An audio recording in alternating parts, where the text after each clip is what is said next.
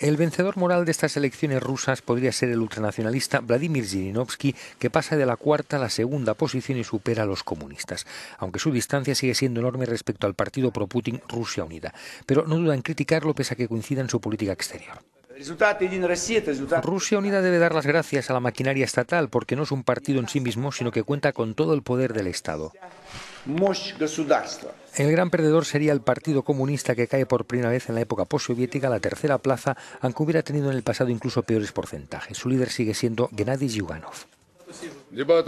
No hubo debate, se crearon partidos artificiales para restar votos al Partido Comunista y Rusia Unida intenta captar al partido de Zhirinovsky para obtener la mayoría parlamentaria.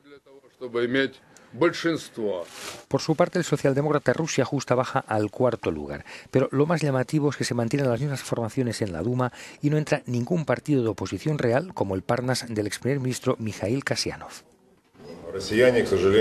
Desgraciadamente, los rusos han dejado de creer que un acto democrático tan importante como unas elecciones puede cambiar las cosas y es una pena. La participación final puede estar por debajo del 50%. Más allá de las sospechas de fraude, este puede haber sido el mayor enemigo de la oposición democrática que hace cinco años salió a la calle para denunciar los resultados.